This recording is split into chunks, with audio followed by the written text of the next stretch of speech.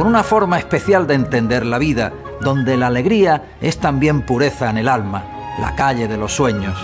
Esperanza, nuestro último ancla en esta tempestad.